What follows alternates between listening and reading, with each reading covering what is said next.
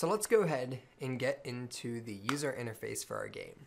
So what we're going to be creating is a lives display where we'll display how many lives the player has. We'll create a score display which will keep track of how many enemies we destroy.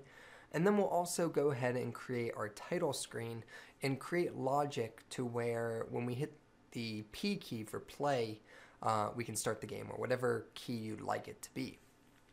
So let's go ahead and take a look at our, um, our sprites folder here. Inside your sprites folder, you'll find a folder called UI, which stands for user interface. And inside here, we have a lives folder. This is how our lives are going to be displayed. Uh, you can think of this as sort of like if you've ever played uh, Zelda. Okay, so in Zelda, uh, they have like the heart system, and the hearts kind of disappear. And when when one heart disappears, it has that grayed out shade. That's exactly what we're creating here. So we have three lives in our game, and when you have only one, it's going to show one with two grayed out. So we're going to create logic for displaying the appropriate one. So this is kind of the the magic trick of how that's done. Uh, essentially, what we'll do is we'll have this no lives method here. Or I'm sorry, this no lives image here and um, we're just going to be updating the sprite based on how many lives our player has. So what do we do to get started here? Let's go ahead and position where we want this to be. Go ahead and right click in the hierarchy, go to UI, go to image. This is automatically going to create a canvas. The canvas is the area that all UI elements should be inside. The canvas is just the game object that holds all of your UI elements as children. So You'll also see that it also gave us an event system, and this is used for messaging, uh, which we're not really going to cover that much uh, in this course. But if you're interested in learning more about the canvas, definitely check out the docs uh, for the manual on the UI canvas at unity3d.com. So here's what we have. We have a canvas here that's going to house all of our images, or all of our on-screen elements for the user interface. We have this image here. Let's go ahead and rename this and call it player lives. And you'll see here that we have an image component.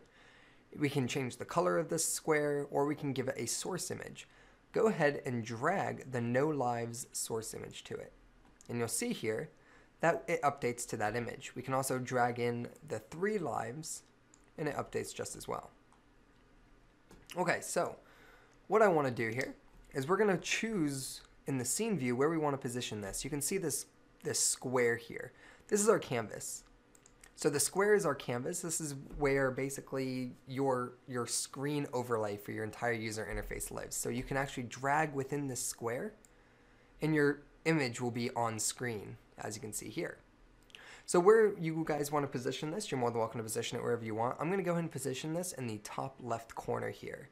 And I'm going to go ahead and get it right about there. Pretty happy with that spacing. Uh, you're more than welcome to get it however you see fit though. And once you have it there, go ahead and set it to what the what the game starts with. So for instance, we start with three lives. So your source image should be three. And what's going to happen now is when we when we get hurt, we're going to say, okay, let's update the UI display. We no longer have three lives, we now have two lives. So we're going to be changing out the source image for two lives. And you can see here that it happens as, as if you naturally just removed one. Um, but really all the magic is, is we're doing an image swap and it happens so quickly that the naked eye can't even pick it up. So if we go to one life, we go to one and then eventually we'll have no lives and it's game over. And then we'll be able to press the like the R key to restart. And when we do that, we'll go back to three lives. So where does all this magic happen? How do we control all of this? We're going to have a user interface manager called a UI manager. And this script has one job only, and its job is to manage the display of your game, the update display. So you, you can think of it as the, uh, the HUD, heads up display. All it's going to do is update our, our UI. So let's go ahead, right click, create a new C Sharp script, and let's go ahead and call it UI manager.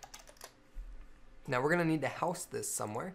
So just like our spawn manager, how it sort of just sits on an empty object in the scene, we're going to do the exact same thing with our canvas. Now, typically what you'll find is some people actually use their canvas to house the UI manager, and that's perfectly fine. Or you can actually create a new object by going to create, create empty, or control shift N for PC, command shift N for Mac, and you can drag it on there. I actually like the idea of using our canvas since it has to be in the scene anyways and it controls all of our, our UI elements. It makes more sense for me to have it on the canvas. So go ahead and drag your UI manager on top of the canvas. Now we have a UI manager component attached. Go ahead and open that script up. And let's go ahead and look at the logic for how we're going to update our display. Alrighty, so we're inside the UI manager. Now, the only responsibility for the UI manager is to handle the update of our display. So let's go ahead and treat this as a blueprint for what the UI manager is. I'm going to go ahead and remove void start and update. We may add them back later, but for now, just to create a blueprint of what the UI manager is responsible for, let's go ahead and actually write out its program um, like a blueprint. So for instance, the UI manager can do what? We can update our display. So we'll have a method that we can call from our player when we get hurt that says update lives. So to do that, we'll say public void update lives. And then what's another thing that our UI manager is going to do? We're going to have a score, right? So every time we destroy an enemy, they'll make a call to the UI manager and they're going to call our method called public void, we'll say update score. And is there anything else we're missing? We're going to update our live, we're going to update our score. And I think for the most part, that's pretty much it. Um, one thing our UI manager is going to be responsible for, how can it update the lives? You saw that in order to update the lives, we're swapping out those sprites. Our program needs to know what those sprites are. So we're going to have a variable for those sprites. So here we can go ahead and say, and, and this is really important too before we start, um, notice that it was an image component and what we were working with here on that image if we click on the player lives here, it's an image component and we're changing the source image, which takes a sprite. So I'm gonna have a variable of type sprite because I wanna be able to hold one of these sprite game objects.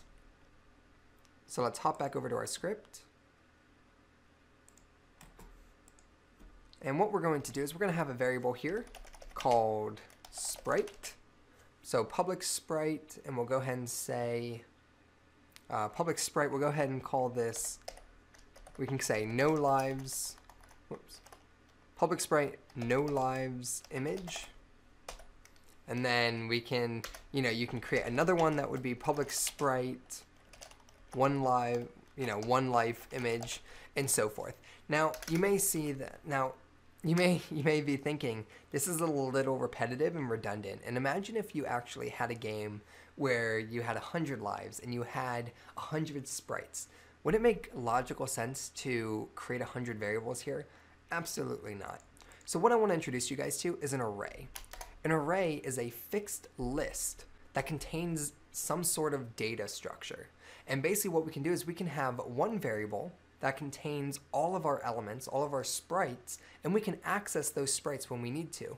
What's great about this way of doing it is that we can access an array by an index, and that index can correspond to our lives. So how do we declare an array? In order to declare an array, which again is just a fixed list, like a fixed size list, we can go ahead and say public sprite, which is our data type, and then to make it an array, we use the square brackets. And then every variable still needs a name. So public sprite, we'll go ahead and call this uh, sprites. Or maybe uh, we'll say lives. And go ahead and just add a semicolon. Save your script, head back over to Unity. Okay, and you'll see here if we click on our canvas and you look at your UI component on the UI manager, we now have this little drop down called lives. This is our array, and we can set the size of this array. So we have four images, no lives, one, two, and three. By doing that, you'll see here that we have very there essentially we have four types of uh, four variables to store information in.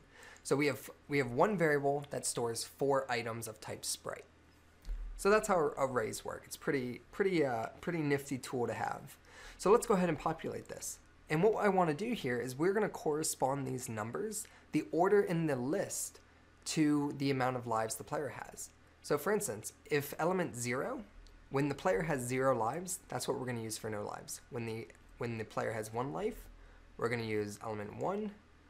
Same goes for two, and I'm just dragging and dropping them directly into these um, these element holders here. Element three, three.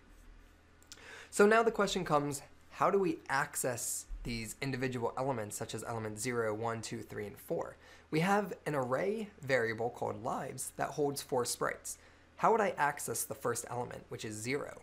Well, it's pretty easy.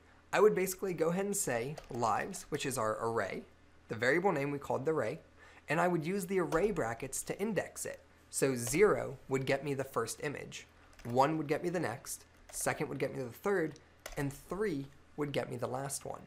Now you might be wondering, why, am, why is it starting at 0? Because in programming, all numbers start at 0. So everything is indexed at 0. So 0 is the first element, 3 is the last element.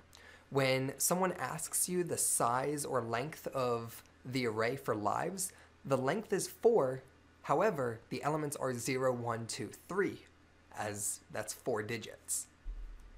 So this is how we access those individual sprites, which we'll be using momentarily. So here we have our variable for sprites.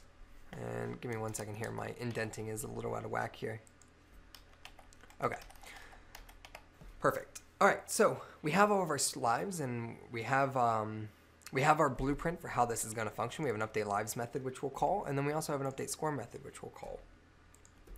Now, typically when you're creating manager classes, manager classes should not communicate with other scripts. Instead, other scripts, such as our player, such as our enemy, they should communicate with us, the UI manager. So here we have a problem. How do I know how many lives the player has? For instance, look at this. We say here, public void update lives. We know that we're going to be swapping out the current image source for one of these sprites, but how do I know which one? How do I know how many lives this player has? Well, that is where we have to get into custom functions or methods, such as update lives, but with parameter types and arguments where we can pass in data to this method.